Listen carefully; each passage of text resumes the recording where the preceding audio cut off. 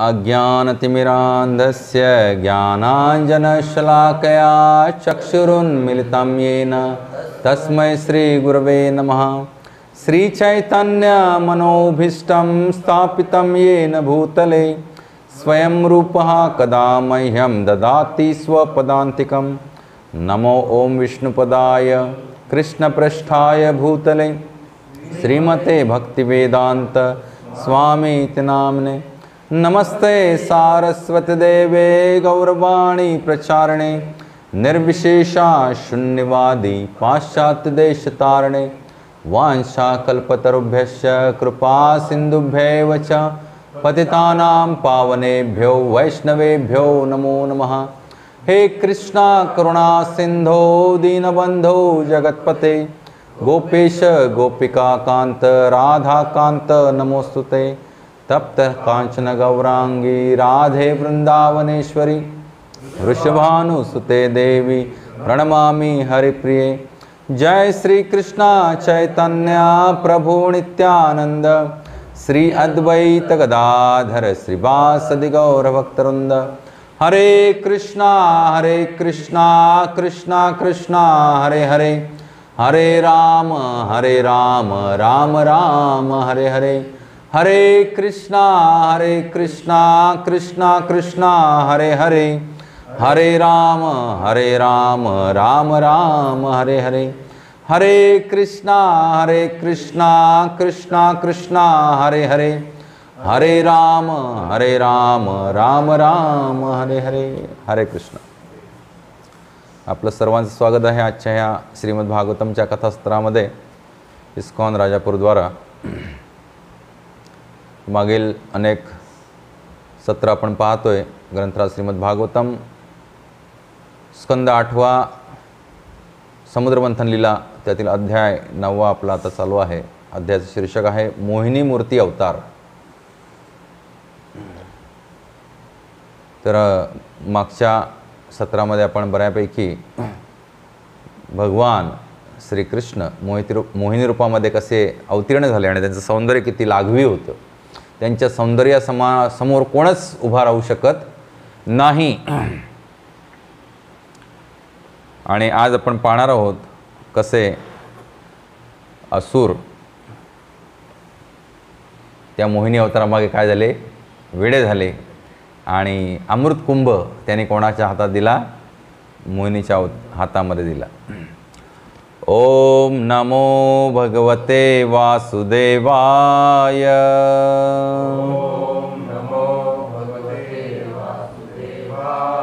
ॐ नमो भगवते वासुदेवाय।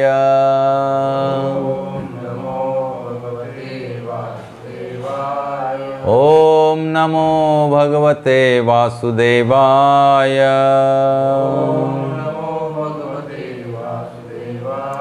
नारायणं नमस्कृत्यं।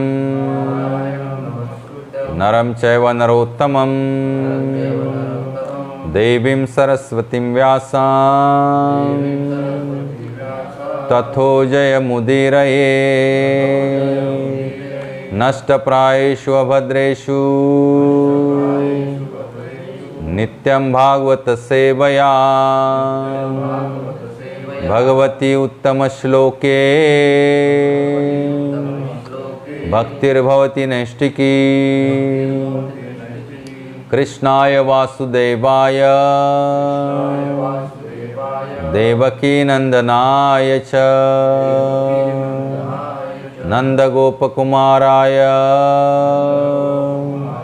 गोविन्दाय नमो नमः हरे कृष्णा हरे कृष्णा।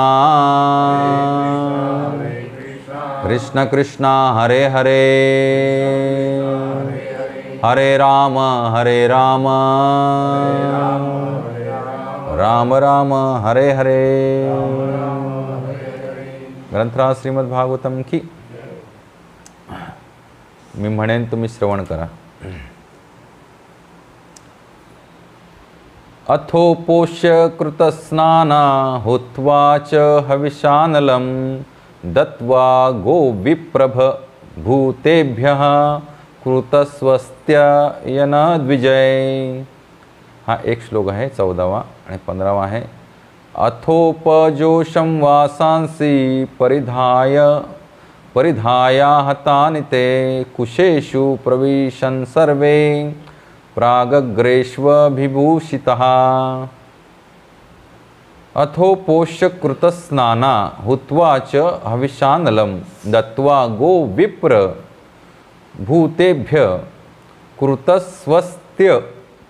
यनाद्विजय, यथोपजोषं वासांसि परिधाय परिधाया हतानि ते कुशेषु सर्वे प्रागग्रेश्व विभूषित अथ म्हणा त्यानंतर उपोष्य उपवास करून कृतस्नाना स्नान करून हुत्वा आहुती अर्पण करून च आणि हविषा तुपाची अनलम अग्नित दत्वा दान देऊन गोविप्र भूतेभ्य गायी ब्राह्मण आणि इतर जीवांना.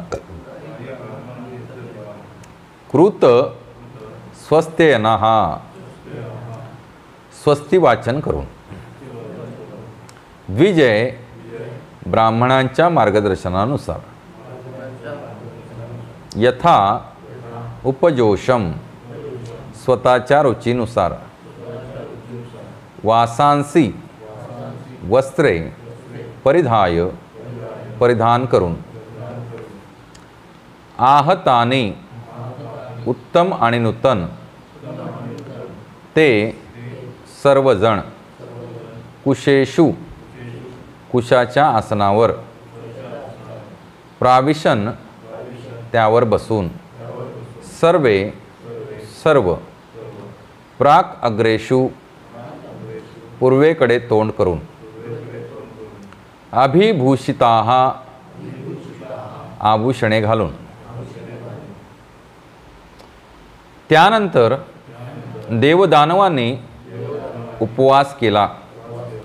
स्नानादी कर्मे उरकून यज्ञात हवी अर्पण केली. गायी आणि ब्राह्मण तसेच क्षत्रिय वैश्य आणि शूद्रांना यथास्थिती दान दिले. नंतर ब्राह्मणांच्या निर्देशानुसार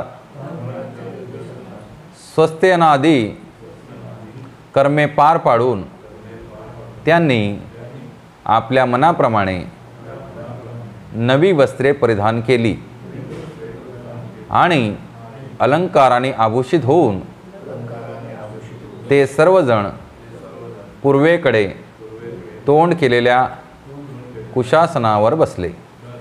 हरे कृष्ण. आसन ग्रहण करा ब्राह्मण देवता.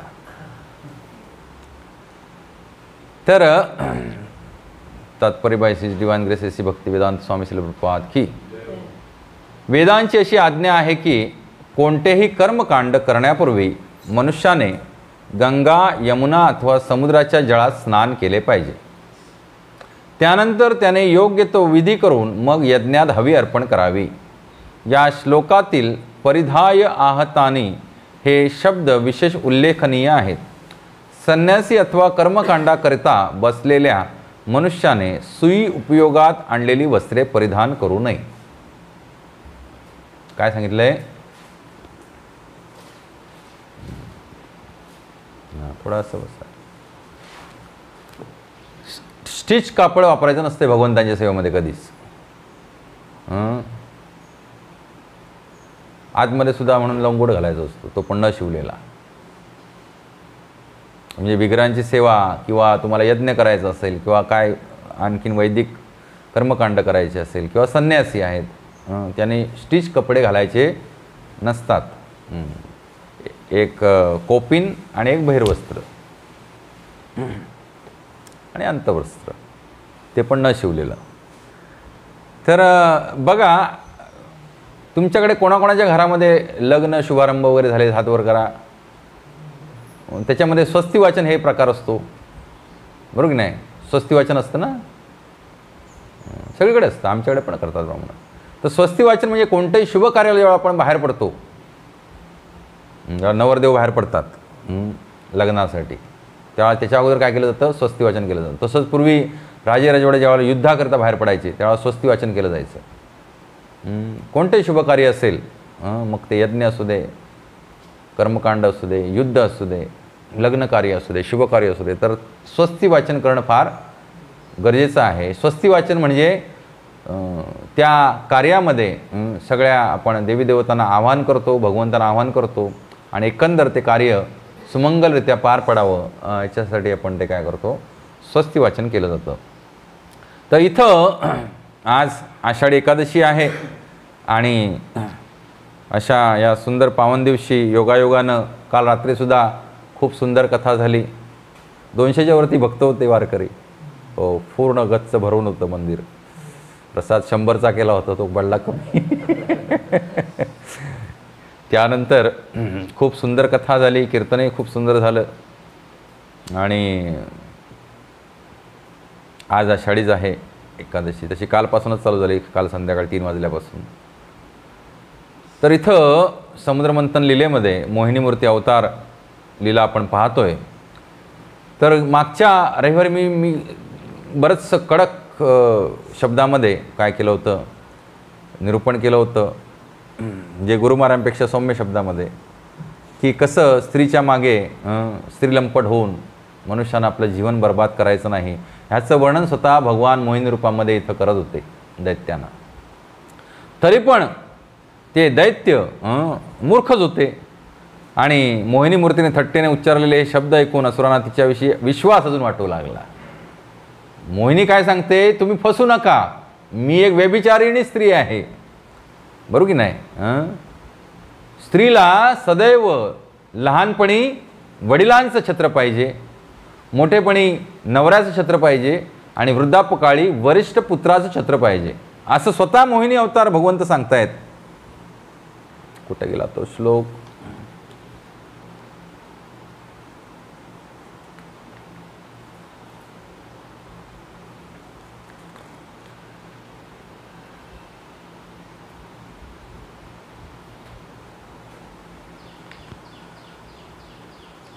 हां.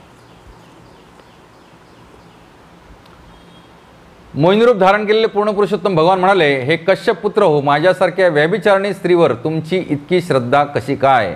ज्ञानी मनुष्य कधी स्त्रीवर विश्वास ठेवत नाही.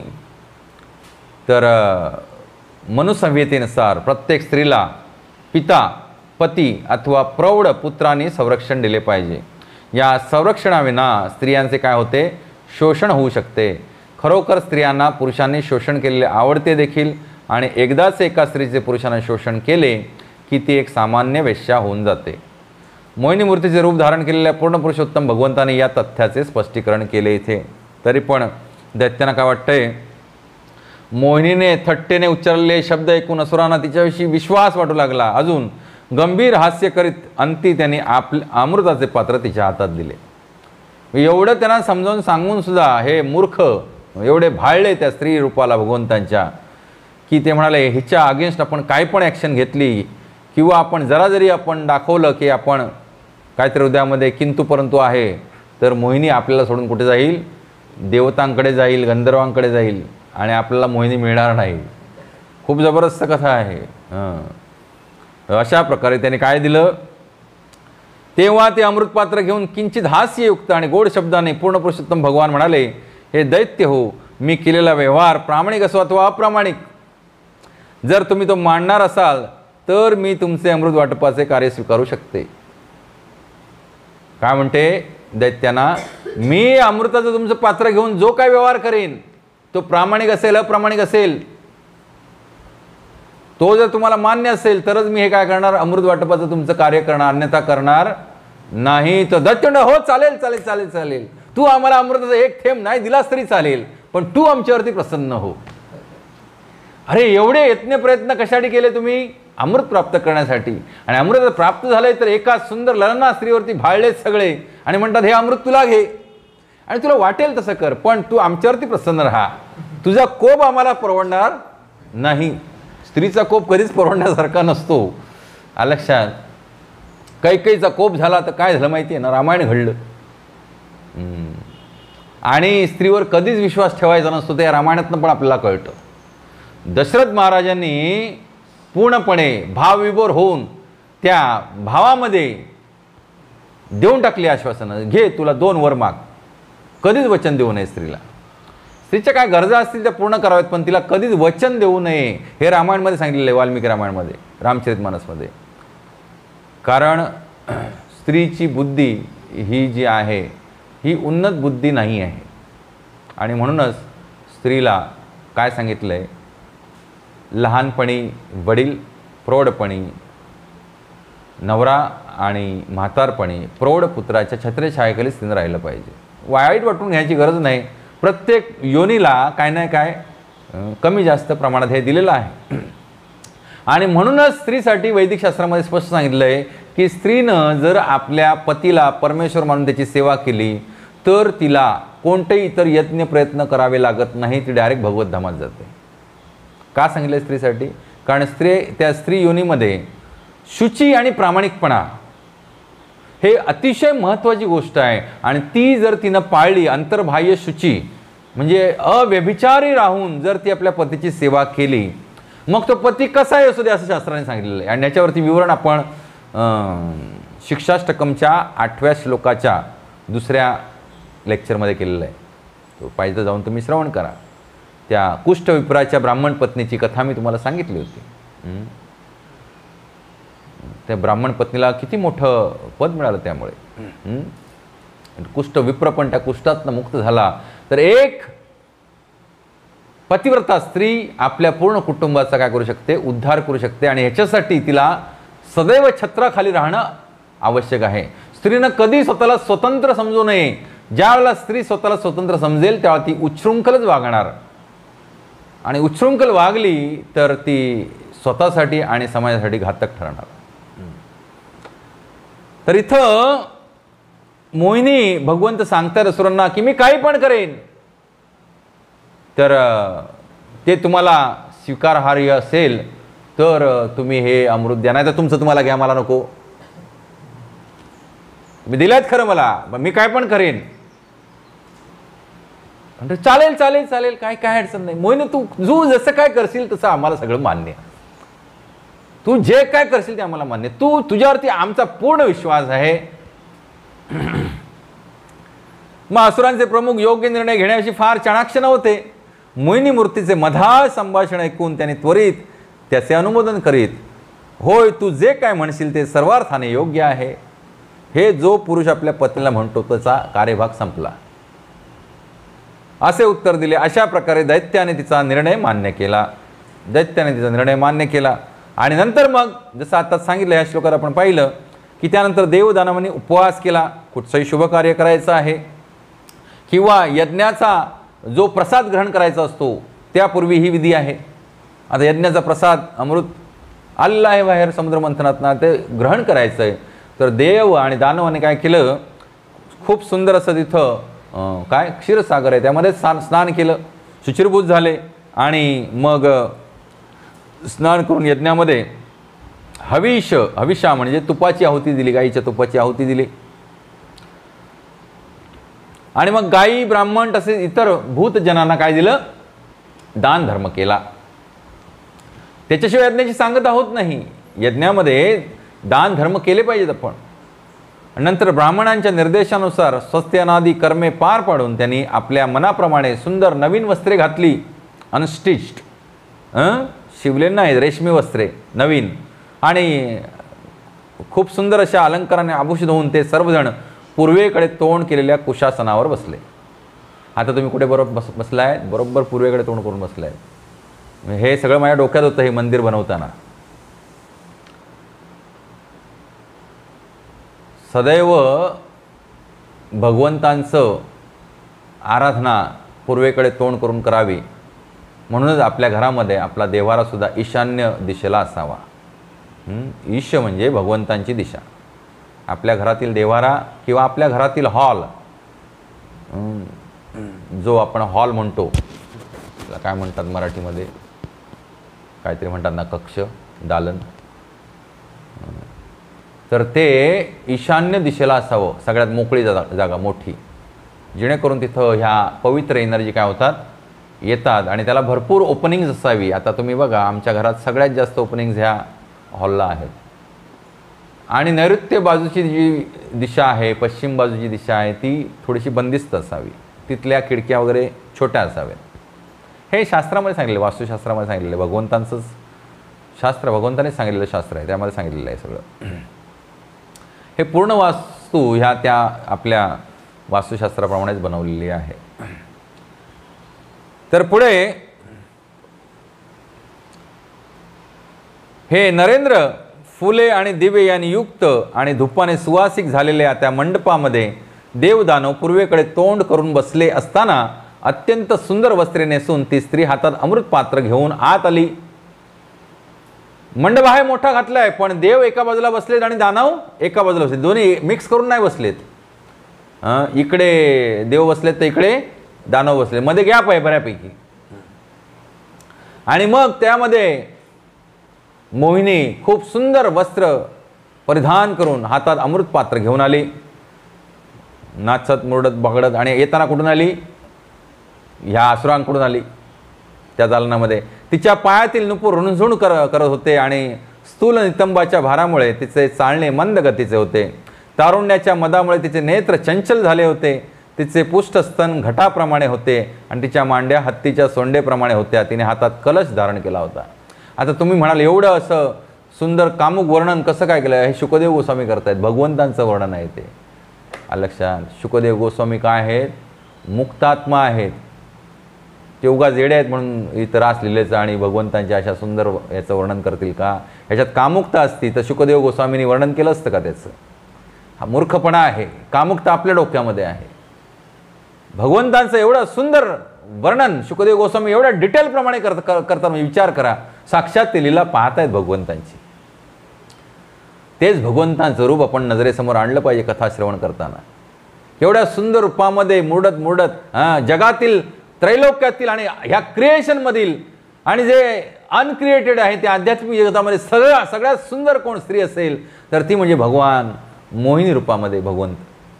आणि असे सुंदर भगवंत त्या दालनामध्ये येतात मंडप घातलेला आहे पूर्वेकडे तोंड करून देव आणि दैत्य बसलेले आहेत आणि असुरांच्या दिशेनं मुरडत मुरडत लटके झटके देत मोहिनी येते. अमृत कुंभ एका हातात आहे. आणि तिने कानात सुवर्णाची कुंडले घातली होती आणि तिची आकर्षक नासिका तथा गाल यामुळे तिचे मुख अतिशय सुंदर दिसत होते. चालता चालता तिच्या वस्त्राचा पदर स्तनावरून किंचित सरल्यासारखा झाला. त्याबरोबर दानवांची विकेटच पडली. देव दानवाने तिचे सुंदर रूप अवलोकन केले. त्यांच्या मृ त्यांच्यावर मृदू कटाक्ष टाकून हास्य करणारी ती मोहिनी पाहताच ते सर्वजण मंत्रमुग्ध झाले. श्रील विश्वनाथ चक्रवर्ती ठाकूर या श्लोकासंदर्भात असे म्हणतात की मोहिनी मूर्ती पूर्ण पुरुषोत्तम भगवंतांचे स्त्रीरूप असून लक्ष्मी देवी तिची सखी आहे. भगवंतांच्या या रूपाने लक्ष्मीदेवीला देखील आव्हान दिले. कारण लक्ष्मीदेवी खचितच सुंदर असली तरी जेव्हा भगवंत स्त्रीरूप धारण करतात तेव्हा त्याचे सौंदर्य लक्ष्मीच्या सौंदर्याहून श्रेष्ठ असते. कारण लक्ष्मीचा तिथं ऑलरेडी अवतार झाला होता. तिथं लक्ष्मी अजित भगवंतांबरोबर होती पण ती लक्ष्मी पण फिकी पडली मोहिनीच्या रूपाप्रमाणे समोर. सगळे देव आणि दानव माना वळून वळून पाहू लागले. पण दैत्याने विचार काय केला डोक्यामध्ये? ही आपल्याला पत्नी म्हणून पाहिजे. आणि दानवाने तिला माता म्हणून पाहिलं. आपला देवाने तिला माता म्हणून पाहिलं.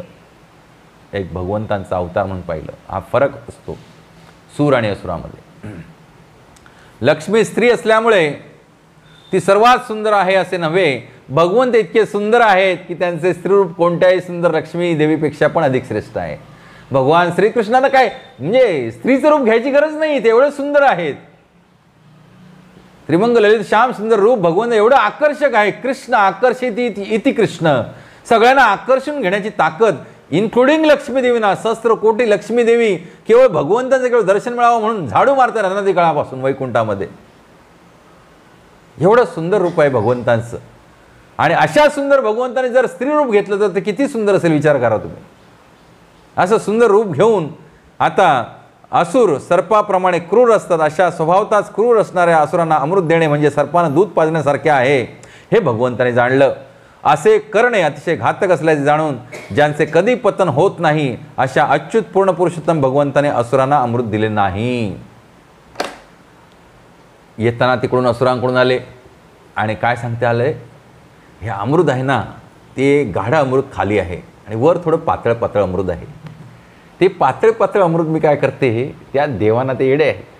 त्यांना ते ते त्याच्यात समाधान होतं. आणि खालचं गाढं अमृत आहे ते तुम्हाला पाजेन मी नंतर. स्त्री कशी फसवेल ना ते सांगता येत नाही. तर भगवंताने पण तेच केलं. त्याबरोबर हे सगळे भाळले. आणि असुरे नेहमी सर्पाप्रमाणे असतात. सर्पाच्या पा काय शेपटावरती पाय द्या. काय करणार तो वळून? डंसच करणार. त्याला दूध पाजा तो विष झोकणार त्यामुळे असुराशी संग कधीच करू नये. असुराशी संगच करू नये. म्हणजे जे वैष्णव नाही आहेत अशांची संग आपण करू नये. कारण आजच्या युगामध्ये आसूर असे शिंगवाल्याने दात बाहेर आलेले नाही आहेत. मानवामध्ये सगळे असुर भरून राहि राहिलेले आहेत. लक्षात? त्यामुळे जे वैष्णव नाही आहेत त्यांचा आपण संग कधी करू नयेत स्पष्टच सांगायचं झालं तर. ह्या कलियुगामध्ये वैष्णवेतर सगळे कोण आहेत? असुर आहेत. त्यामुळे त्यांचा कधीही संग करू नये. कामापुरतं काम काढून घ्यावं. ह्याला शुक्राचार्य नीती म्हणतात. भगवंताने तीच शिकवली. शकुनी मा मामानं त्यांना ते उदाहरण दिलं. ज्याला दुर्योधन म्हणाला सुईच्या टोकावरती मावेल एवढी पण भूमी देणार नाही. तर भगवंत म्हणतात हे अन्याय आहे. तुम्ही कपटानं काय केलात? राज्य काढून घेतलात पांडवांचं. मग भगवंत तू नाही कपट केलंस का? शकुनिमा म्हणतायत त्यांना तिथे. शांती सभेमध्ये गेले होते. भगवंता तू कपट नाही केलंस का? समुद्र मंथन लिलेमध्ये. असुरांचा उपयोग करून घेतलास आणि मग मोहिनी अवतार धारण करून त्यांना थेंबर पण काय दिलं नाहीस? हा मृत दिला नाही. मग तू कपट नाही केलंस का? भगवंत काय बोलणार भगवंत कप बसले. भगवंत कपट करतात पण सुरांच्या भल्यासाठी आपल्या भक्तांच्या भल्यासाठी भगवंत कपट करतात. आणि असं आहे का अन्याय करत नाहीत असुरांवरती भगवंत. नाही बळी मारावरती अन्याय केला असता तर त्यांना सुतल लोक जे वैकुंठा समान आहे असं सुतल लोक ह्याच ब्रह्मांडामध्ये दिलं नसतं त्याने. आणि स्वतः द्वारपाल बनून राहिले तिथे. हां. चाकरी करतायत बळी मारायची. भगवंत पक्षपाती नाही आहेत तरी पण भगवंत थोडेफार काय आपल्या भक्तांचा थोडासा पक्ष घेतात. नाही असं नाही. पण भगवंत पक्षपाती नाही आहेत.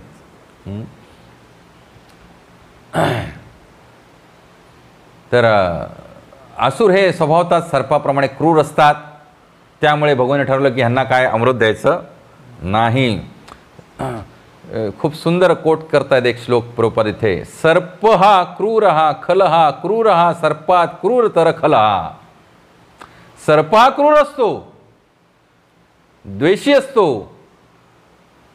परंतु ह्या सर्प वृत्तीचा म्हणजे असुर वृत्तीचा मनुष्य सर्पापेक्षा पण क्रूर असतो. बिचारा सर्प एकदा डसेल बिचारा विष सोडले जाईल निघून. पण आसुर वृत्तीचा मनुष्य जो आहे तो काय आहे? सर्पापेक्षा पण खल असतो. खल म्हणजे दुष्ट. सर्प हा क्रूर हा खल हा. क्रूर हा सर्पात क्रूर तर खल हा. सर्पापेक्षा पण क्रू क्रूर कोण आहे? आसुरी वृत्तीचा मनुष्य. अशा आशयाची एक म्हण आहे. त्यात पुढे असे म्हटले आहे की मंत्रौषधी वशहा सर्प. सर्पाला वश करण्यासाठी मंत्रौषधी आहे. पण खल केन निर नि निवार्यते. पण त्या खल मनुष्याला असुरवृत्तीच्या मनुष्याला नियंत्रण आणण्यासाठी कोणतंही काय नाही मंत्रौषधी नाही म्हणजे किती नीच मनुष्य आहे विचार बघ करा. जर तो भगवत भक्त नसेल तर मनुष्य एकदम नीच कोटीचा मनुष्य असतो. काल पण आपण पाहिलं भगवद्गीतेच्या आधारे की शिप्रम भवती धर्मात्मा. जो कोणी भगवंताच्या भक्तिभावाला लागतो तो त्वरितच काय होतो? शिप्रम भवती.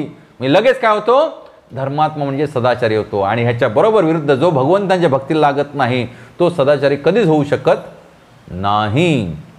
आणि मग भगवंत सांगतात नमे भक्त प्रणश्यती. माझ्या भक्ताचा कधीच पतन होत नाही. त्यामुळे एखादा योग करत असताना त्या भक्तियोगाच्या सर्वोच्च पायरीवरनं खाली जर पतन झालं तरी प्रवीणचा रात्री येताना प्रश्न होता की मग दुसरा जन्म भगवंत देतात श्रीमंतांच्या घरी किंवा ब्राह्मणाच्या घरी? मग त्याला आठवण कशी होते? ती आठवण करायचं काम भगवान श्रीकृष्ण करतात. त्याला योग्य वातावरण देण्याचं काम कोण करतात? भगवान श्रीकृष्ण करतात. कारण नमे भक्त प्रणश्यती जो एकदा माझ्या भक्तिमार्गाला लागला आहे त्याचं कधीच पतन होत नाही. हे वचन भगवंताने स्वतः घेतलंय. त्यामुळे किती जन्म झाले किती जन्म घ्यावे लागले तर निश्चिंत राहायचं. पण ह्या जन्मात सार्थक करून भगवंतांचं नामरूप गुणलिलांचं गुणगान करत करत भगवत धामात जाण्यासाठीच हा मनुष्य देह आहे तो त्याच्यासाठीच खर्ची घातला पाहिजे. अन्यथा आसुरी वृत्तीचे माया मोहजाळ सगळे आपल्या हृदयातच आहेत. काय कुठं लांब जायची गरज नाही. जसं की मागच्या सोमवारच्या प्रवचनात मी सांगत होतो की माया म्हणजे काय? जिथं भगवंतांची योगमाया शक्ती नाही ती म्हणजे माया. लक्षात ना. अंधकार म्हणजे काय? जिथं प्रकाश नाही तो अंधकार. तसंच ज्या हृदयात भगवंतांची भक्ती नाही म्हणजे काय? तिथं त्वरितच आसुरी गुण वाढायला सुरुवात होणार. वाट बघावी लागणार नाही तुम्ही. तुम्ही एक सहा महिने यायचं बंद करा. सत्संगाला येऊ नका. तुमच्यामध्ये कसे बदल होतील ते तुमचे तुम्हीच बघा. सगळ्या भक्तांना टाळा. तोंड दाखवू नका त्यांना. अजिबात. दोन चार महिने. तुमचं हरिबोल झालं नाही ना? होणार की नाही बाबा? भक्तांना कोणत्याही तोंड दाखवू नका कोणत्याही सत्संगाला जाऊ नका माळ धरू नका काय करू नका. अजिबात. पूर्वपदावरती या. काय कसे तुमच्यातले असुरवृत्तीचे गुण सगळे उफाळून येतील असे? भसा भसा भसा भसा. हे सत्य आहे. त्यामुळे सदैव वैष्णवांचाच संघ केला पाहिजे. असंगाशी संघ आणि प्राणाशी गाठ अशी म्हण आहे मराठीमध्ये. म्हणजे असंग करण्यासारखी व्यक्ती म्हणजे काय? कोण? जी भगवत भक्त नाही ती व्यक्ती म्हणजे संघ करण्यासाठी योग्य नाही. आणि अशा व्यक्तीशी जर आपण संघ केला गप्पा गोष्टी मारत बसलो टाइमपासच्या नावाखाली तर आपण काय करणार? आपली प्राणाशी गाठ पडणार. त्यानंतर मंत्र आणि औषधी उपयोगात आणून सर्पाला वश करता येते परंतु द्वेषी आणि क्रूर मनुष्याला कोणत्याही उपायाने वश करता येत नाही. या नीतीनुसार पूर्ण पुरुषोत्तम भगवंताने असुरांना अमृत देणे योग्य समजले नाही. पुढे जगतपती पूर्ण पुरुषोत्तम भगवंताने मोहिनी रूपात देवदानवांच्या वेगवेगळ्या पंक्ती करून त्यांना उभयताना आपापल्या पंक्तीत बसवले. जे रांगा वेगळ्या वेगळ्या केल्या. इकडे देव इकडे दानव. एकत्र नाही बसवलं. दानवांना दैत्यानं सांगितलं की मी थांबा वरचं वरचं पातळ पातळ अमृत काय करते? त्यांना सर्व करून येते. तोपर्यंत तुम्ही शांत बसा. अजिबात बिलकुल चिंता करायची नाही. खालचं एकदम गाढं अमृत आहे एकदम. मस्त. ते तुम्हाला देणार. हवळ काय? दैत्य आधीच भाळले होते. खुश म्हणाले एकदम. फर्स्ट क्लास सत्यवचन. मोहिनी तू सत्यवचनी आहेस. त्याच्यानंतर हातात अमृत कलश घेऊन ती प्रथम असुरांसमोर आली आणि तिने मधुरवचने त्यांना संतुष्ट केले. हेच मधुरवचन सांगितले त्यांना. दुसरी काय नाही. जरा धीर धरा. या रीतीने तिने त्यांना फसविले. पुढे दूरवर बसलेले देवांच्या पंक्तीत जाऊन तिने त्यांना वृद्धत्व आणि मृत्यू यांचा नाश करविणारे ते अमृत पाजले. यांना फसवलं. थांबा म्हणाली मी येथे. भगवान मोहिनी मूर्तीने देवांची पंगत थोडी दूरच बसवली होती. यांचं थोडीफार नजर जाता का म्हणजे लांब जरा बसवली होती. म्हणजे काय किती अम अमृत कलश किती टिल्ट करते ते दिसता का म्हणे ना ना. पूर्ण असा आता शेवटच्या देवा देवाला पाहिजे सगळा उल दिसता का म्हणे अमृत किती टिल्ट करते ते. मग हे नाही तर उतावळे होतील ना. अमृत संपलं अमृत संपलं पळा पळा पळा पळा. म्हणून थोडं लांबच बसवलं. दृष्टीपथास येणार नाही असं देवा देवांना. आणि ती असुरांजवळ जाऊन त्यांच्याशी अत्यंत प्रसन्न चित्तानं संभाषण करू लागली. यामुळे असुरांना वाटले की आपले भाग्य खरोखरच उजळल्यामुळे मोहिनी आपल्याशी संभाषण करत आहे. जर एखादी सुंदर युवती एखाद्या कुरूप तरुणाबरोबर बोलायला लागली चित्र डोळ्यासमोर आणा तर त्या तरुणाला असं काय वाटतं विचारू नका की आता ही माझ्यावरती भाळलीच आहे आणि आता झालेलं आहे आपलं काय ते आता पुढचं. आता मला काय टेन्शनच नाही एकदम. तो असा हवेतच तरंगायला लागतो. त्याप्रमाणे हे असुर भाग्य खरोखर उजळल्याप्रमाणे मोली मोहिनी आपल्याशी संभाषण करीत आहे. मोहिनी मूर्तीने देवांना दूर अंतरावर ठेवले. असल्यामुळे असुरांची निश्चिती झाली की देवांच्या वाट्याला अत्यल्प अमृत देणार असून मोहिनी मूर्ती सर्व अमृत असुरांनाच देणार आहे. केवळ गोड गोड बोलून असुरांची पूर्ण फसवणूक करणे हाच भगवंतांचा एकमेव हेतू होतो हेतू होता याच्यामध्ये. काय हेतू होता? बस गोड बोलायचं आणि असुरांची काय करायची? फसवणूक करायची. अमृत केवळ देवांनाच देणे हेच भगवंतांच्या मनात होते. हे नृप ही स्त्री न्याय अथवा अन्याय असा जो काही व्यवहार करील तो आपल्याला मान्य असेल असे वचनच असुरांनी दिले होते.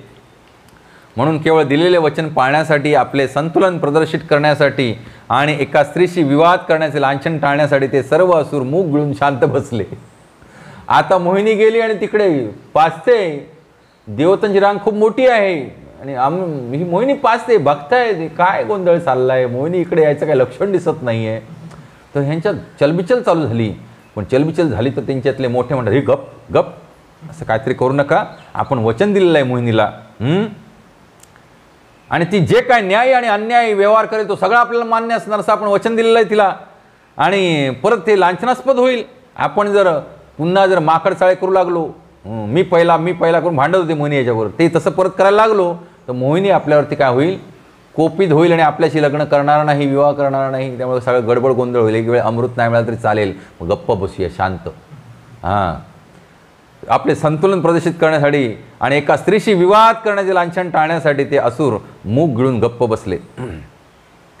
असुरांच्या मनात मोहिनी मूर्तीविषयी स्नेहभाव निर्माण झाला होता आणि त्यांची तिच्यावरती काहीशी श्रद्धाही बसली होती. ते आता या संबंधात मिठाचा खडा पडू नये अशी इच्छा बाळगून होते. संबंध खूप चांगले प्रस्थापित झाले होते. मुनीन पण रेसिप्रोकेट केलं होतं. इन रिटर्न खूप सुंदर अ, स्मितहास्य करून त्यांना असं लाघवी मृदू ती बोलली होती की तुम्ही काळजी करू नका तुम्हाला मी गाढं अमृत देणार आहे. तुम्ही निश्चिंत राहा तुमच्या सगळ्या मनोकामना मी पूर्ण करणार आहे. त्यामुळे त्याने तिच्या शब्दांना मान देऊन त्या प्रेमात व्यत्यय येईल असे काही अप्रिय भाषण केले नाही. गप बसले. बोललो तर आपल्यावरती कोपिष्ट होऊन निघून जाईल तिकडे देवतांकडे. मोहिनी मूर्तीच्या युक्त्या आणि वाक्चतुर्यावर दैत्य एवढे मंत्रमुग्ध होऊन गेले की देवांना प्रथम अमृत दिले जाऊनही तिच्या मधुर वचनावरच ते संतुष्ट झाले. असुरांना उद्देशून भगवंत म्हणाले हे देववृत्तीने कृपण आणि प्रथम अमृत प्राशन करण्यास आसुसलेले आहेत. म्हणून त्यांना ते घेऊ द्या. तुम्ही मात्र त्यांच्याप्रमाणे नसल्यामुळे तुम्ही अल्पकाळ वाट पहा. हे देव काय आहेत? कृपण आहेत? कंजूस आहेत? आणि ते अमृत पिण्यासाठी आसुसलेले आहेत. पण तुम्ही मात्र काय आहात धीर वृत्तीचे पुरुष आहेत सगळे. त्यामुळे तुम्ही थोडंसं काय अल्पकाळ वाट पहा मी त्यांना वितरित करून येतेस. तुम्ही सर्व वीर असून माझ्यावर अतिशय प्रसन्न आहात. देवांचे अमृतपान होईपर्यंत तुम्ही थांबावे हेच बरे मोहिनी म्हणाली. त्यानंतर चंद्र आणि सूर्याला ग्रहण लावणारा राहू आपले रूप आच्छादित करून देवांच्या वेशात देवतांच्या मंडपात आला आणि अमृत प्याला ह्या असुरांपैकी एक असुर होता. कोण? राहू त्याला थोडंसं डाऊट आला. हे काहीतरी गडबड घोटाळा दिसतोय.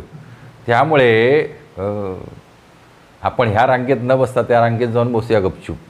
मग त्यानं काय केलं? वस्त्र आभूषण सगळी देवांसारखं रूप घेतलं. आणि जाऊन सूर्य आणि चंद्राच्या मध्ये बसला देवांच्या रांगेत.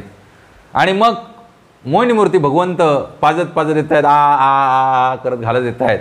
त्यानं आ केलं. चंद्राला घातलं मग ह्याला घातलं मग सूर्यानं घातलं. पुढे काय झालं बघा? त्याने तसे करताना कोणाच्याही अगदी पूर्ण पुरुषोत्तम भगवंतांच्याही लक्षात आले नाही. भगवंतांना पण कळलं नाही की हा कोण आहे? आसुर आहे आणि देवतांच्या पंक्ती देऊन बसला आहे. लिहिला आहे. परंतु चंद्र सूर्याचे राहूशी नित्य वैर असल्यामुळे त्यांनी त्याची क्लुप्ती त्वरित जाणली आयडिया राहूनं केलेली. चंद्र आणि सूर्याचं वैर आहे राहूचं अनादिकाळापासून. आणि भले आपल्याला एखादी गोष्ट मिळेल नाही तरी चालेल पण आपल्या शत्रूला मिळता कमाने हा काय असतोय? स्थायी स्वभाव असतो. तसा देवतांचं म्हण आहे ते म्हणाले ह्या असुराला अमृत मिळता कमाने हा मध्ये आमच्या देऊन बसला आहे आणि अशा प्रकारे राहू पकडला गेला. पूर्ण पुरुषोत्तम भगवान मोहिनी मूर्तीला सर्व असुरांना भ्रमित करण्यात यश आले खरे परंतु राहू इतका चाणाक्ष निघाला की तो भ्रमित होण्यापासून वाचला. राहूच्या लक्षात आले की मोहिनी मूर्त असुरांना फसवीत आहे आणि म्हणून त्याने आपले वेश पालटून एका देवाचे रूप धारण केले आणि तो सरळ देवांच्या पंक्तीत जाऊन बसला.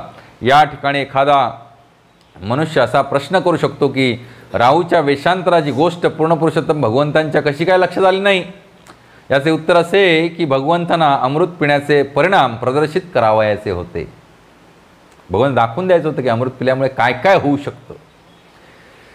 या संबंधीचे अधिक स्पष्टीकरण पुढील श्लोकात येईलच चंद्र आणि सूर्य मात्र राहूविषयी अत्यंत सतर्क होते. म्हणून राहूने देवसभेत प्रवेश करता चंद्र सूर्याने त्याला त्वरित ओळखले आणि पुढे पूर्ण पुरुषोत्तम भगवंतांच्याही सत्य लक्षात आले. भगवंतांना दाखवून द्यायचं होतं. म्हणून भगवंताने पकडून राहूला त्याला पण अमृत पिऊ दिलं. पण पुढे काय होतंय बघा. चक्रेण क्षूरधारेण जहार पिबत शिरा.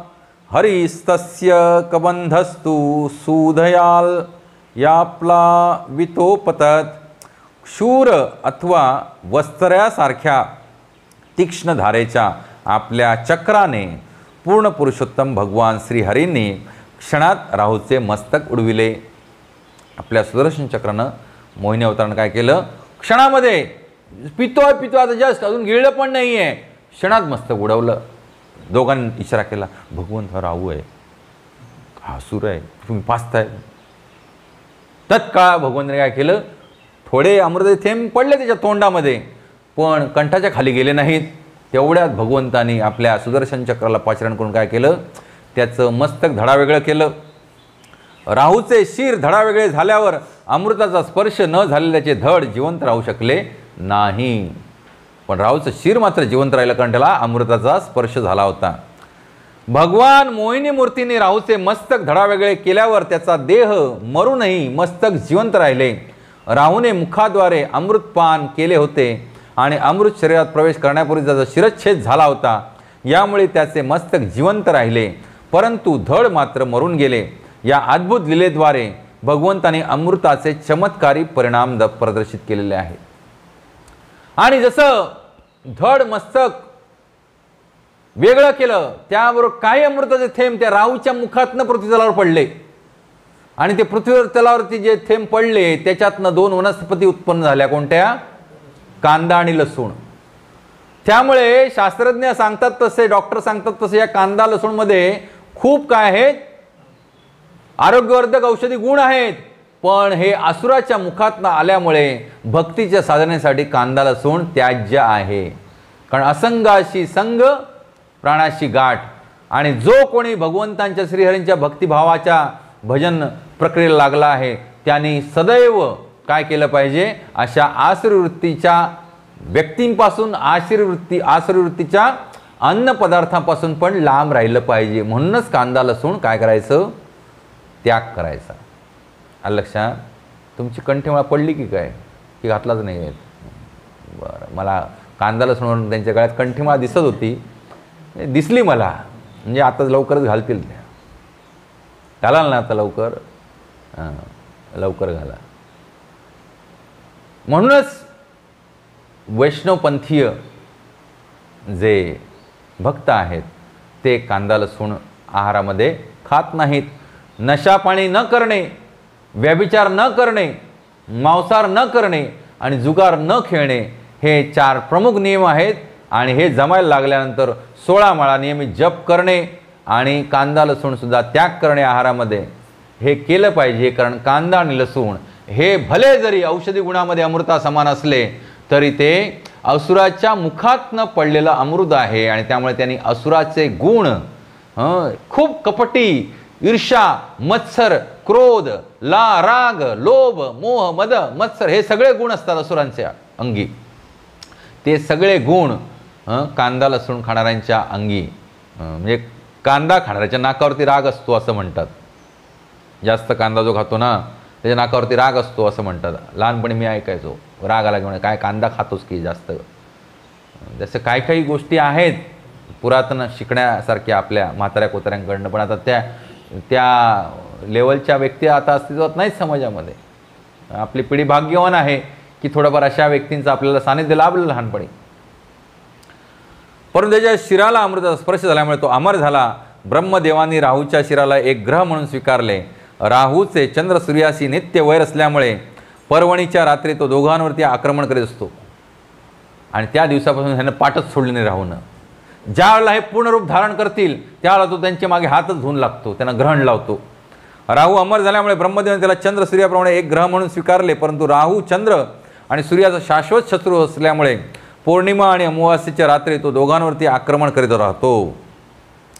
पूर्ण पुरुषोत्तम भगवान त्रिभुवनाचे सर्वोत्तम सुहृद आणि हितचिंतक आहेत. देवाने बहुतांशी अमृत प्राशन करून झाल्यावरती दानव प्रमुखांच्या समक्ष भगवंताने आपले मूळ रूप प्रकट केले. पूर्ण पुरुषोत्तम भगवान त्रिभुवनाचे सर्वोत्तम सुहृद हितचिंतक आहेत आणि हे भगवंताने सिद्ध केलं. कारण जर देवतांना ताकद दिली तर आपोआपच देवता काय करतील? संपूर्ण चराचर सृष्टी चौऱ्याऐंशी लक्ष युनींच्या भल्यासाठी जे काय ते करतील निश्चित. आणि असुर काय करतात? बरोबर ह्याच्या उलटं करतात. ज्यावेळेला असुरी ताकदी वाढ होतात त्यावेळेला ऋषी ब्राह्मण गायी सगळ्यांना त्रास होतो. त्राही त्राही माम करून टाकतात. त्यामुळे भगवंताने काय केलं? भगवंत सुहृद आहेत सर्व जीवांप्रती. आणि हितचिंतक आहेत. म्हणूनच देवाने बहुतांशी अमृत प्राशन करून झाल्यावरती दानव प्रमुखांच्या समक्ष भगवंताने आपले मूळ रूप प्रकट केले. पुरुषावतार धारण केला पुन्हा एकदा. देव दानवा दोघांसाठी देश काल कारण अर्थ प्रयत्न आणि ध्येय हे सर्व एकसारखेच होते. तथापि त्यांना फलप्राप्ती मात्र वेगवेगळी झाली. भगवंतांच्या चरणकमळांच्या रजकणांचा आश्रय घेतल्यामुळे देवांना सहजपणे अमृत मिळाले परंतु दानवाने भगवत चरणांचा आश्रय न स्वीकारल्यामुळे त्यांना असे फळ प्राप्त झाले नाही. देवताने भगवंतांच्या चरणकमळांचा आश्रय धरून राहिले सुरुवातीपासून. भगवंत जे सांगतील ते ऐकायचे. मुख पकडायचं मुख पकडायचं. मुख सोडायचं शेपटी धरायची शेपटी धरायची. बरोबर की नाही? हां? दैत्य काय मागतील ते द्यायचं द्यायचं. किंतु परंतु करायचं नाही. अमृत हिरावून घेतलं घेऊ देत. काळजी करू नका. शांत राहिले. भगवंतांवरती विश्वास ठेवला भगवंतांच्या वचनावरती विश्वास ठेवला. त्यामुळे जो व्यक्ती भगवंतांच्या वचनावर विश्वास ठेवून आपलं आयुष्य जगतो त्याचं कधीच अकल्याण होणार नाही. परंतु दानवाने भगवत चरणाचा आश्रय न स्वीकारल्यामुळे त्यांना असे फळ प्राप्त झाले नाही. भगवद्गीतेत म्हटल्याप्रमाणे ये यथा माम प्रपद्यंते ताम सतैव भजाम्यहम एखादी व्यक्ती ज्या भावनेने परमेश्वराच्या चरणकमलांचा आश्रय ग्रहण करते त्यानुसार त्या व्यक्तीला वर अथवा दंड देणारे सर्वोच्च न्यायाधीश स्वयं परमेश्वर आहेत. म्हणून असे दिसून येते की जरी कर्मी आणि भक्त एकाच स्थानी एकाच वेळी आणि तितकीच शक्ती आणि एकच ध्येय ठेवून कार्य करीत असले तरी त्यांना वेगवेगळे परिणाम प्राप्त होतात. इथे एनर्जी इच्छा शक्ती सगळं एकसारखं लावलं होतं देवी देवताने आणि दानवांनी. पण दानवांच्या दैत्यांच्या नशिबी काही मिळालं नाही. त्यांना फक्त वारोणी मिळाली. प्या नशा पाणी करत बसा. मृत्यूच्या चक्रात कर्मी जन्म मृत्यूच्या चक्रात फिरत राहत राहतात आणि कधी खाली तर कधी वर जातात आणि कर्मचक्र अर्थात जन्म मृत्यूच्या चक्रात आपल्या कर्माची फळं भोगत राहतात. या उलट भक्तांनी भगवंतांच्या चरणकमळांचा पूर्ण आश्रय घेतल्यामुळे त्यांचे प्रयत्न कधीच व्यर्थ जात नाही. बायातकारी दृष्टीने पाहता भक्त कर्मीजनांसारखेच कार्य करीत असले तरी भक्त पुन्हा भगवतधामात जातात आणि सर्वार्थाने यशस् यशस्वी होतात. असुर अथवा नास्तिकांना स्वतःच्या प्रयत्नांवरती प्रचंड विश्वास असतो आणि म्हणून ते दिवस रात्र कठोर परिश्रम करतात. परंतु तसे करूनही त्यांना स्वतःच्या प्रारब्धाहून अधिक काही मिळत नाही. भक्त मात्र स्वतःच्या नियतीवर वरही विजय मिळून विनाशयास अद्भुत परिणाम प्राप्त करू शकतात. अल्पसे प्रयत्न करून सुद्धा भक्त काय करू शकतात? अद्भुत असे फळ प्राप्त करू शकतात. केवळ आणि केवळ भगवंतांच्या आश्रयामुळे आशीर्वादामुळे. फलेन परिचीयते अशी एक म्हण आहे. तिचा अर्थ असा की एखाद्या कर्माचे परिणाम पाहून आपण यश अपयश जाणू शकतो. भक्ताचा वेश परिधान केलेले अनेक कर्मी आहेत परंतु पूर्ण पुरुषोत्तम भगवान त्यांना अचूकपणे ओळखू शकतात. भक्ताचा वेश केवळ परि परिधान करून तुम्ही जर हृदयामध्ये आसुरवृत्ती ठेवलात तर भगवंत निश्चित तुम्हाला ओळखून काढतील जसं राहूला ओळखले तसं. आ लक्षात. त्यामुळे साधू वेशामध्ये आसुरी वृत्ती हृदयात ठेवून जरी आपण प्रचार कार्य जरी करत फिरलो तरी त्याचा काही उपयोग होणार नाही. अशा प्रचार कार्याला यश भगवंत देणार नाहीत. कोणाचंच कल्याण होणार नाही त्या त्याच्यानं. केवळ अशा लोकांपासून सामान्य जन काय झाले होतील? त्यांचा वेळ अपय होईल त्यांच्या या मनुष्य जीवनाचं सार्थक होणार नाही आणि हा मनुष्य देह त्यांचा वाया जाईल. म्हणून अशा भोंदी साधूंच्या मागे लागता कामाने आणि आपले गुरु जे आहेत आध्यात्मिक हे आपण प्रामाणिक शास्त्रांच्या आधारे स्वीकारले पाहिजेत. कोणतरी सांगतो म्हणून गुरु करायचा नाही. आपल्या हृदयाला आपल्या हृदयस्थ भगवंतांना ते पटले पाहिजेत. हृदयातून आवाज आला पाहिजे. होय हे जे काय वचन सांगतायत हे सत्य वचन आहे शास्त्र वचन आहे भगवंतांचं वचन आहे आचरणही शुद्ध आहे आणि अशा वेळेला आपण आध्यात्मिक गुरु स्वीकारायचे आहेत. अन्यथा असे अनेक लोक आहेत जे साधुवेश परिधान करून ह्या राहूसारखे देवतांचा वेश परिधान करून समाजामध्ये बसलेले आहेत. त्यांची लालसा एवढीच असते की कसं काय आपल्याला काय भेटेल? यश कीर्ती नाम पैसा अडका भेटेल बस.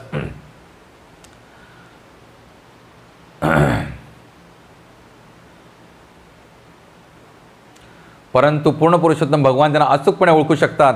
कर्मींना स्वतःच्या इंद्रिय तृप्तीसाठी भगवंतांच्या संपत्तीचा उपयोग करावायचा असतो. परंतु भक्ताला भगवंताच भगवंतांच्याच सेवेसाठी त्यांच्या संपत्तीचा उपयोग करावायचा असतो. म्हणून कर्मींनी भक्तांचा वेश घेतला तरी भक्त कर्मीहून सदैव भिन्न असतात. आता इथं दैत्यांना का भेटलं नाही अमृत? कारण दैत्यांनी मोहिनी ही साक्षात भगवंत आहेत. लक्ष्मीदेवी ही साक्षात भगवंतांची कॉन्सर्ट आहे. तिला सुद्धा ते हिरावून घेऊ इच्छित होते. तिला पत्नी म्हणून प्राप्त करू इच्छित होते. प कोणाला? लक्ष्मीदेवीला आणि म्हणूनच लक्ष्मीदेवी त्यांच्यावरती कोपायमान झाली.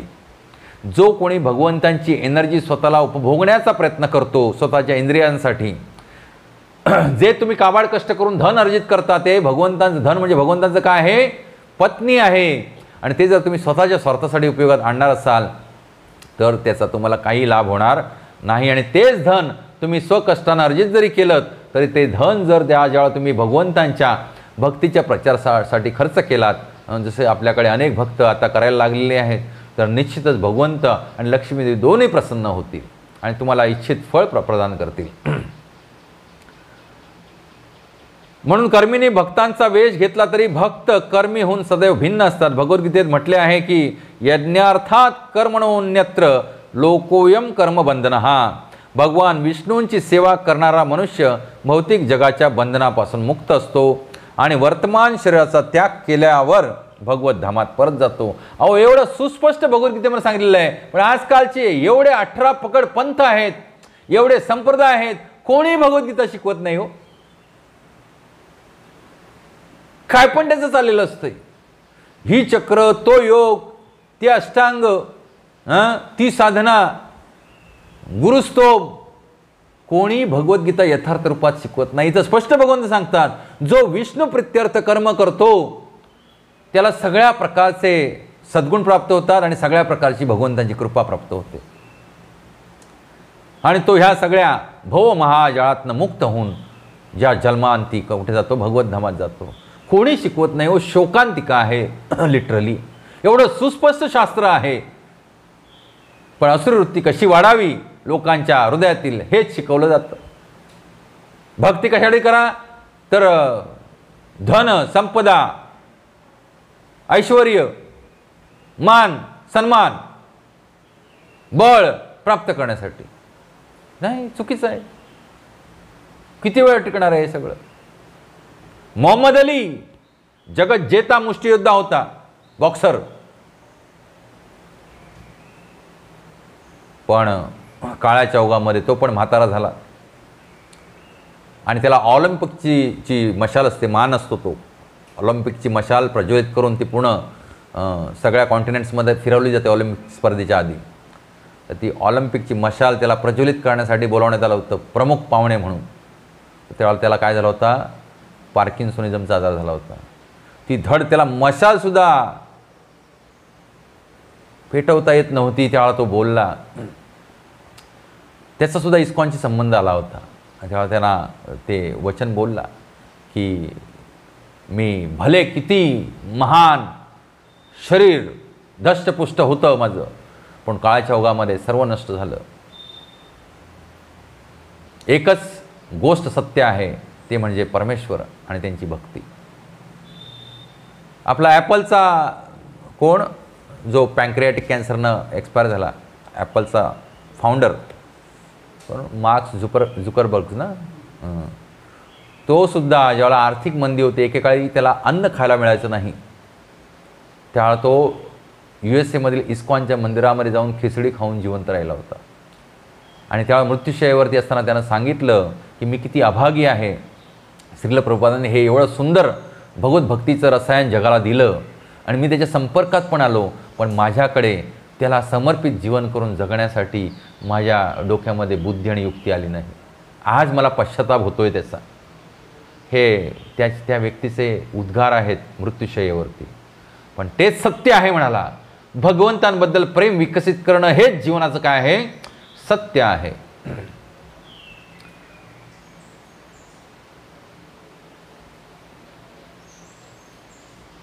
कर्मी मात्र भक्ताप्रमाणे बाह्यातकारी कार्य करीत असूनही स्वतःच्या भक्तिविरहित कार्यांच्या जाळ्यात अडकल्यामुळे संसाराचे चटके सहन करीत राहतो.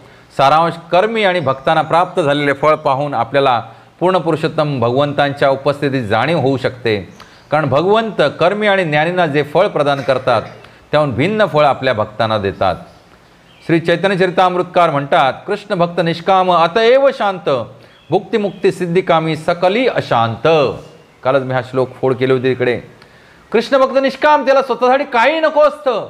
जे काही भगवंता मला देशील ते कशी मला तुझ्या चरणांची सेवा करता येईल? कशी तुझ्या भक्तांना चांगलं अजून प्रोविजन करता येईल? त्यांना सुख वस्तूमध्ये कसं मला ठेवता येईल? प्रभुपादाने एकदा प्रश्न विचारला होता प्रभुपाद तुम्ही एवढी ही आलिशान मंदिर का बांधता एवढी पॉश चकाचक मार्बल वगैरे लावून एवढं तुमचं आलिशान सगळं असतंय ए सी वगैरे सगळं. तुम्ही तर साधू आहात. प्रभुपाद म्हणाले मी जंगलातल्या एका झाडाखाली किंवा एका गुहेमध्ये पण जाऊन भगवंतांची आराधना करायला तयार आहे. पण तुम्ही मी जे काय सांगतो ते ऐकायला तिथे याल का? तुम्ही यायला तयार आहात का तिथे? मी जाऊन समजा आज कड्या कपरीत जाऊन बसलो होतो तुम्ही याल का तिथं श्रवण करायला? नाही. लक्षात. हे तुमच्यासाठी आहे. जेणेकरून ॲटलिस्ट ह्याला तरी तुम्ही अट्रॅक्ट होऊन इथे येऊन ए सीमध्ये तरी राधा राधागोविंद टेम्पलमध्ये ए सी असतो मस्त जाऊन बसूया प्रवचन प्रसाद छान असतो लॅविश प्रसाद असतो. ह्या ह्यानं आकर्षण होणारे अनेक श्रीमंत लोक आहेत जे भक्त झालेत. त्यांना एकदम आक- ते म्हणाले तुम्ही येणार का तुम्ही? एवढी हाय क्लास सोसायटी तुम्हाला मी सांगितलं जर झोपडी द्या माझ्याकडे प्रवचन ऐकायला याल का तुम्ही माझ्याकडे? नाही येणार. सो काय म्हणतात ते? जसं जैसा संग वैसा ढंग तसं करावं लागतो ढंग. जसे लोक आहेत प्रभार म्हणाले तुम्ही जेटच्या स्पीडनं नरकाच्या दिशेनं जात आहेत तर मी कसं चालत तुमचं पाठलाग करणार? म्हणून मला पण विमानानं फिरावं लागतं गिरट्या मारावं लागतं पृथ्वीच्या. तुम्ही सगळे जेटच्या स्पीडनं चाललेत नरकाच्या दिशेनं. तर प्रश्न विचारला तुम्ही विमानातनं का फिरता? साधूचं पायी फिरतात. अरे बाबानं तुम्ही जेटच्या स्पीडनं नरकाच्या दिशेनं चाललेत. सगळ्या पृथ्वी तलावरचे हे सगळे मनुष्य लोक. मग तुम्हाला पकडण्यासाठी थांबण्यासाठी मला जेट जेटच वापरलं पाहिजे ना? बरोबर की नाही? तर भौतिक साधनं संसाधनं वापर करण्यास काही बंधन नाही पण ते भगवंतांच्या सेवेसाठी वापरलं गेलं पाहिजे. इंद्रिय तर्पणाची इच्छा करणारे कर्मी परमेश्वरात विलीन होऊ पाहणारे ज्ञानी आणि सिद्धींच्या प्राप्तीसाठी आसस आसुसलेले योगी हे सर्व अशांत असून अंती त्यांची मती कुंठित होत असते. परंतु स्वार्थाचा लवलेशही नसणाऱ्या आणि पूर्ण पुरुषोत्तम भगवंतांचा महिमा प्रचार ही एकच आकांक्षा बाळगणाऱ्या भक्तांना भक्तियुगाची सर्व शुभ फळे सहजपणे प्राप्त होतात. तुम्ही भक्त आहात की नाही ही एकच कसोटी आहे.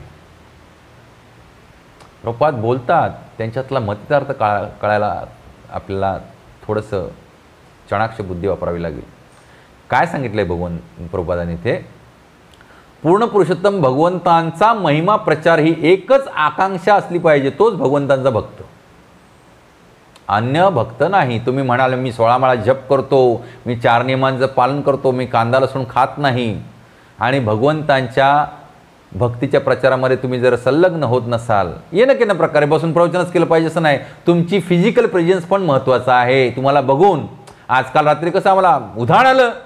एवढे भक्त वैष्णव ड्रेसमध्ये मस्त धोती कुर्ता टोपी घातलेले वारकरी बुक्का लावलेले टिळा लावलेले बरोबर की नाही? तसं ज्या ज्या वेळेला आपण जिथं जिथं जातो तिथं आपले सगळे हां भक्तगण काय पाहिजेत? उपस्थित पाहिजेत. तरच ते काय आहेत? भक्तियोगाची शुभफळे सहजपणे प्राप्त होतात. अशांनाच भक्तियोगाची शुभफळं मिळतील. तुम्ही जर स्वार्थापोटी एकांतिकी हरेर भक्ती उत्पातही केवलम करत बसला तर काही होणार नाही. तुम्ही जिथं जिथं आपला सत्संग चालतो तिथं तिथं आलं पाहिजे.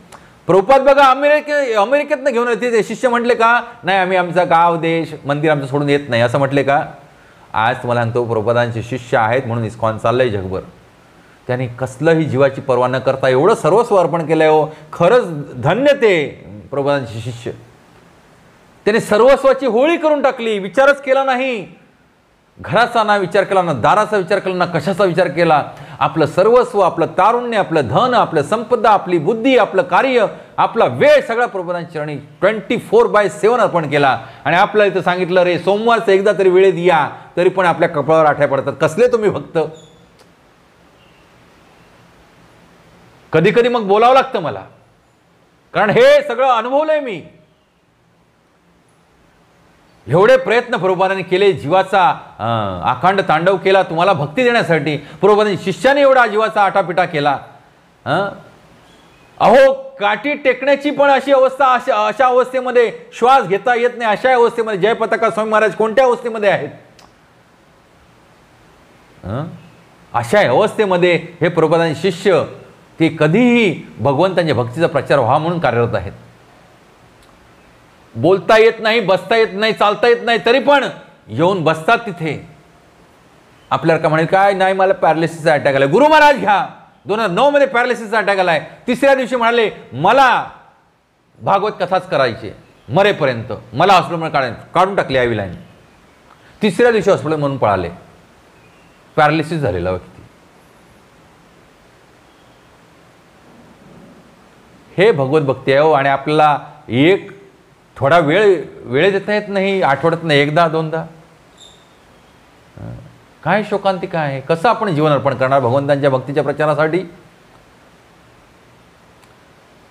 पुढे सांगतायत मानव समाजात स्वतःचे प्राण आणि धन सुरक्षित ठेवण्यासाठी एखादा मनुष्य वचने मन आणि कार्याद्वारे अथक प्रयत्न करीत राहतो परंतु ही सर्व कर्मे देहाशी संबंधित असल्यामुळे ती वैयक्तिक अथवा आप्तसुखियांच्या इंद्रिय भोगाकरिताच केली जातात. ही सर्व कर्मे भक्तिमय सेवेहून पृथक असल्यामुळे ती शेवटी विफल होतात. जो व्यक्ती स्वतःच्या देहासाठी हां किंवा कुटुंबासाठी आसक्त होऊन जीवनभर काय करतो? व्यवसाय उदीम करतो काबाड कष्ट करतो धन अर्जित करतो ही सगळी कार्य विफल होऊन जातात. स्वतः भगवंत सांगतात इथे. ही सर्व कर्मे भक्तिमय सेवेहून पृथक असल्यामुळे ती शेवटी विफल होतात. परंतु वृक्षाच्या मुळाशी पाणी घातले असता ते संपूर्ण वृक्षाला पोचत पोचते त्याचप्रमाणे हीच कर्मे भगवंतांच्या संतुष्टीसाठी केली असता त्यांचे सुपरिणाम प्रत्येकाला लाभत असतात.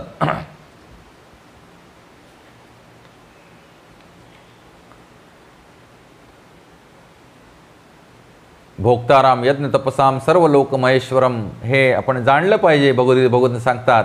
की सगळ्या भोगांचे परमभोक्ता कोण आहेत? भगवान श्रीकृष्ण आहे त्यामुळे जे काय आपल्याकडे आहे ते आपण भगवंतांना अर्पण करायला शिकलं पाहिजे. आणि मग भगवंत आपली काळजी घेतील. निश्चिंत राहा. सगळ्याचं कल्याण करतील. आपल्या घरादाराचं पूर्वजांचं येणाऱ्यांचं भावी पिढीचं आपलं सगळ्यांचं कल्याण करतील. हा भाव हृदयामध्ये पाहिजे. आणि इथे मोहिनी मवता मोहिनी मूर्ती अवतार हा अध्याय थोडक्यात संपतो. अशा रीतीने श्रीमद भागवताच्या आठव्या स्कंदातील मोहिनी मूर्ती अवतार नामक नवव्या अध्यायावरील भक्तिवेदांत भाष्य संपन्न. जगद्गुरु श्रील प्रपाद की निताय गौर प्रेमानंदे. हरी बोल.